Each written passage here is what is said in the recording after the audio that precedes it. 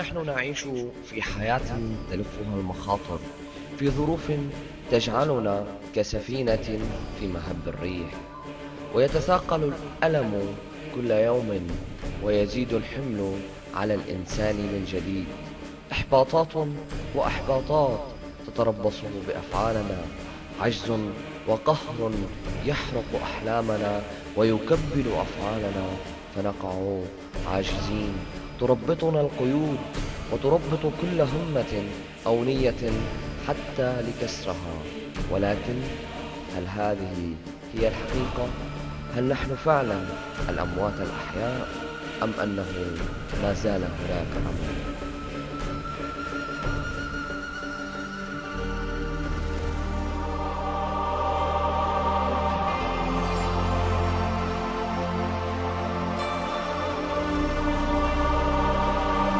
Not when circumstance changes. Victory is when your heart changes. My name is Nick Vujicic and I love traveling around the world, fishing, golfing and swimming. I love living life. I am happy. I am happy.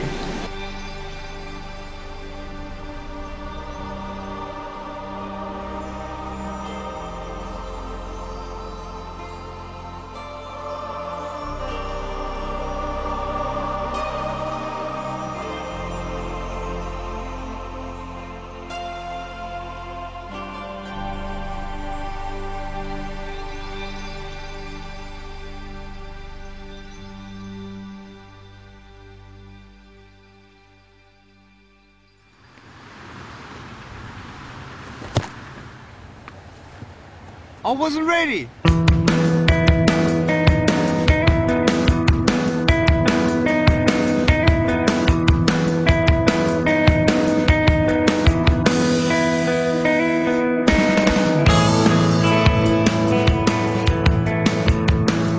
I have no arms and no legs, but I'm very thankful that I have my little chicken drumstick here.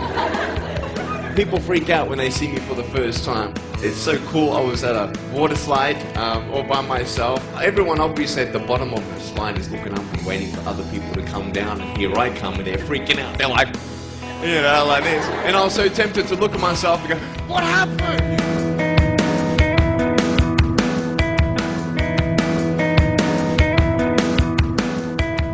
نيكولاس هو شاب أسترالي من مواليد عام 1982 كانت ولادته مأساة غير متوقعة ألمت بعائلته. حيث غادر والده غرفة الولادة حالما وقعت عيناه على طفله الذي لم يكن لديه أطراف. بينما أعرضت والدته عن حمله وإرضاعه حتى الشهر الثالث من عمره. إلا أن العائلة عادت من جديد بعد تقبل الصدمة لتحيط طفلها بالحب والرعاية دون أن يعلموا أن طفلهم هذا سيكون مدعاة للفخر ذات يوم.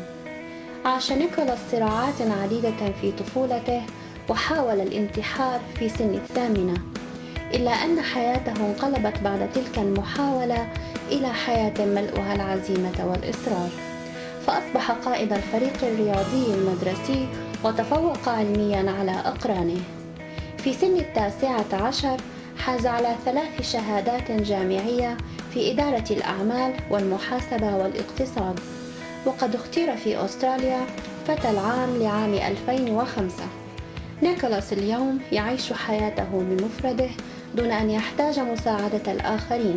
يكسب رزقه بنفسه وقد أسس خمس جمعيات لمساعدة المعاقين وهو يجوب البلاد والمدارس والسجون والمستشفيات عن طريق منظمات عالمية. يغرس الأمل والحكمة بكلماته لرفع سوية الإنسان وتنمية الثقة بالذات والقدرات يمارس هواياته وهو يحب الحياة أكثر مني ومنك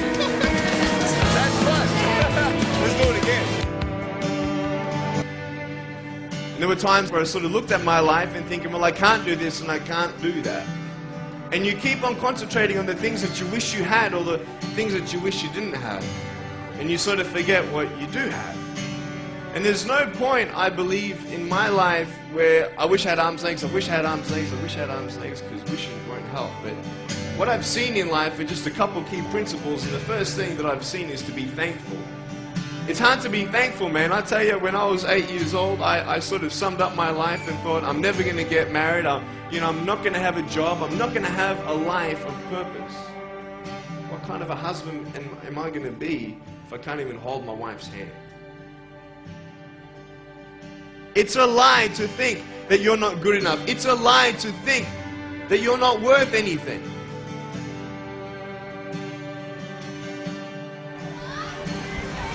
Oh boy.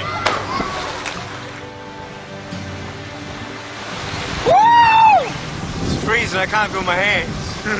I love life. You know, so many people come and say, "How come you smile so much?"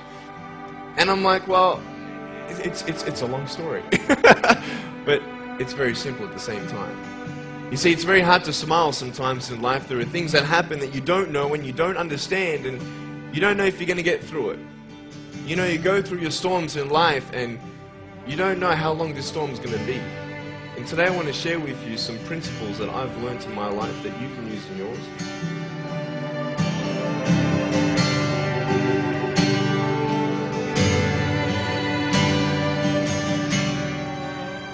Being patient is beautiful. I, I tell you, it's the hardest thing.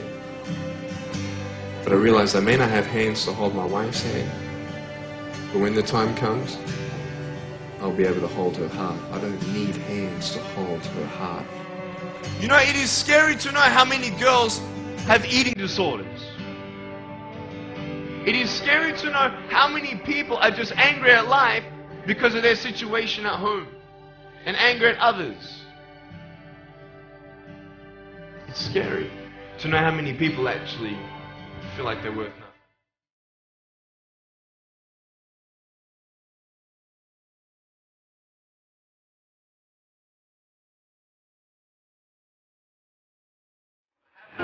But I have a little chicken drumstick. And, uh, so it's like, Do you like that?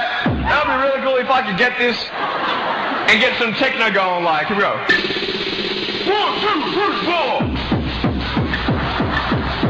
Yeah. There you go. You like that? Is that cool? Beautiful.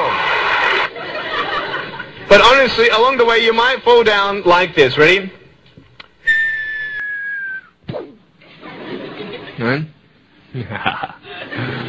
Hello. Right.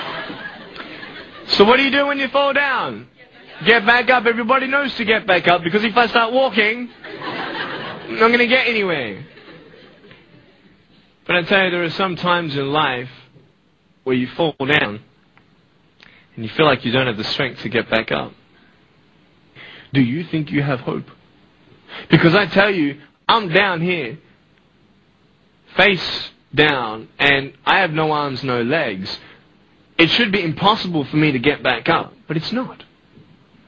You see, I will try 100 times to get up, and if I fail 100 times, if I fail and I give up, do you think that I'm ever going to get up? No. But if I fail, I try again, and again, and again. But I just want you to know that it's not the end. It matters how you're going to finish. Are you going to finish strong?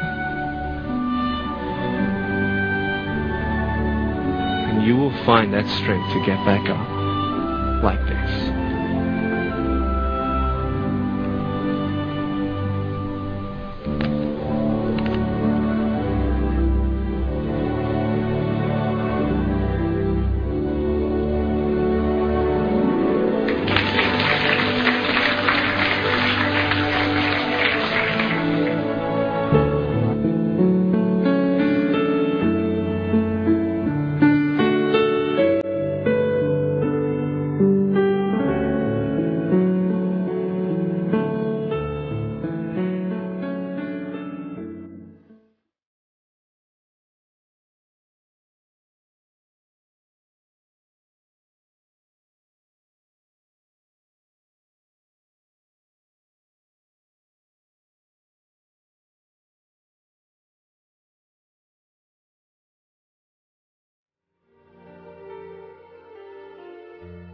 I challenged God. I said, God, I know that I'm a sinner. I know that I won't probably have peace until you're in my heart, but I will not let you in my heart until you answer me why.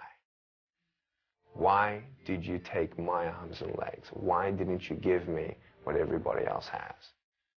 And I said, God, until you answer me that question, I will not serve you. And so I wanted to end it. If God wasn't going to end my pain, I was going to end it myself. So at age eight, I tried to drown myself in a bathtub of four inches of water. I told my mum and dad, I'm just going to relax in the bathtub. Can you put me in the bathtub? And uh, yeah, I turned over a couple times to see if I could do it. I couldn't do it. Um, the thought that stopped me from going through with it was the love for my parents. Because um, I, I loved them so much, and all they did was love me. And I thought to myself, if I actually went through with this, I pictured my funeral, I pictured my parents, and I saw was guilt on their shoulders that they couldn't have done more. I have a choice to either be angry at God for what I don't have or be thankful for what I do have. And that's when I started seeing that there is no point in being complete on the outside when you're broken on the inside. And I found out that God can heal you without changing a circumstance. And I believe God breathed in me life and faith. This faith came over me. This peace came over me. And I felt like God answered my question. The question was why? Why did you make me this way? And the answer was, do you trust me? That's the question. And when you say yes to that question, nothing else matters. It's so hard to be strong when people constantly say you're not good enough. You, you know, go away. You know, we don't want anything to do with you. Nick, you're a nobody. Nick, you can't do this. Nick, you can't do that. Nick, Nick, Nick, Nick, Nick. In life, if you don't know the truth, then you can't be free. Because then you'll believe that the lies are the truth. I am not a man without arms and legs. I'm a, I am a child of God. I am forgiven of my sins. I'm an ambassador of the King of Kings and Lord of Lords. I'm nothing but a servant of the Most High God.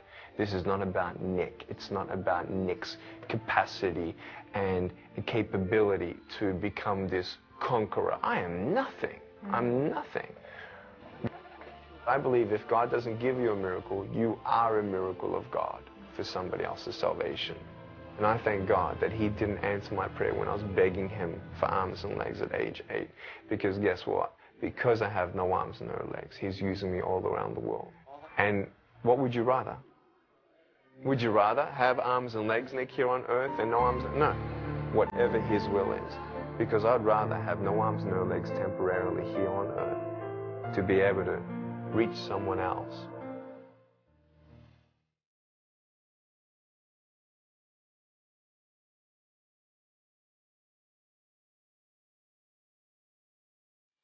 God loves you. That He hasn't forgotten your pain. He hasn't forgotten your family. And maybe while you're watching this interview, you've compared your suffering to my suffering. And that's not where hope is, to know that someone else, in your opinion, is suffering more than you. That's not where hope is. Hope is when you compare your suffering to the infinite, immeasurable love and grace of God. Don't give up on God, because God will not give up.